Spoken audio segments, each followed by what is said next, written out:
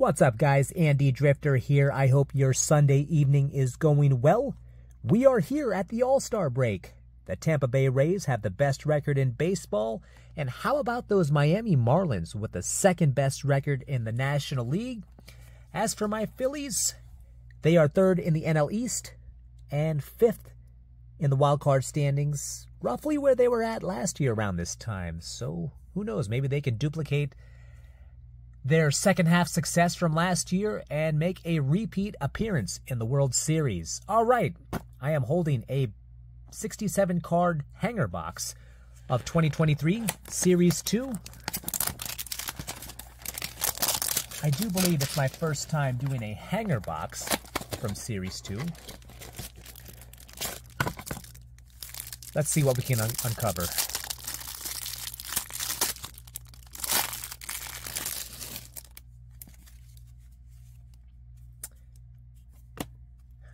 Yuli Gurriel, Cavan Biggio, Zack Greinke, Jorge Soler on pace to hit 40 home runs. He did have one 40 home run season before. I believe that year he had 48. Alex Bregman, James Outman, Jake Burger among the AL League leaders in home runs. Heavy hitters, Mike Trout and Vladdy Jr. What a shame about Mike Trout.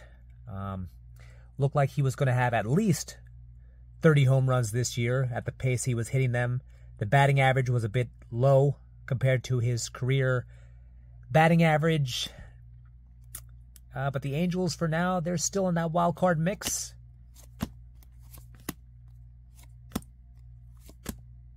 Kole Calhoun, Jackie Bradley Jr., Max Muncy, Max Muncy, Joey Gallo, and Kyle Schwarber.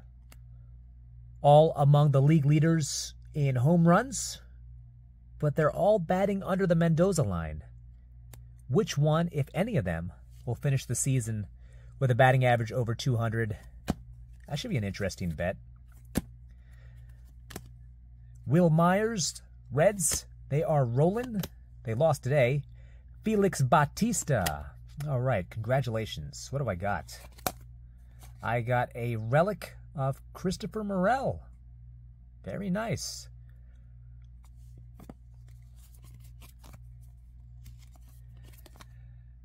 Aaron Judge, 19 home runs in less than 50 games. Not sure what the uh, timetable is, but I assume he'll be back sometime later on this year. Another guy plagued by injuries. Uh, Jose Iglesias. This is numbered out of 2023. Harry Ford, WBC card. Trea Turner, hitting slightly better as we approach the All Star break. Clayton Kershaw, first ballot Hall of Famer. Francisco Alvarez, could he be a dark horse in the NL Rookie of the Year? Keep an eye on him. Josh Jung. And we got some more base cards here. Randy Arozarena will be starting his first All-Star game. Jonathan Schoop. Adolis Garcia, still among the league leaders in RBI.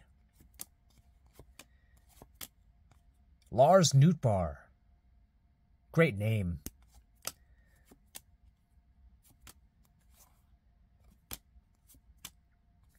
Ah, Tampa Bay Rays, as I mentioned before, best record in the big leagues with a payroll that's among one of the lowest. Twins, still in first. I think they're in first place.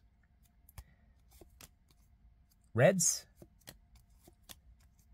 White Sox, Craig Kimbrel,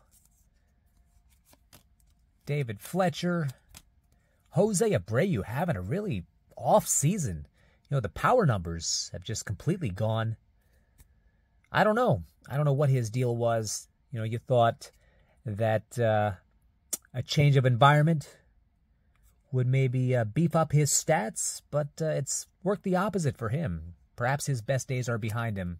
Lane Thomas, Jeremy Pena, Alejandro Kirk, Baltimore, they won today in decisive fashion. They got the second best record in the AL East. And Evan Longoria to finish things out. All right, there it is. Thank you so much for watching. Be sure to hit like and subscribe and enjoy the rest of your Sunday evening.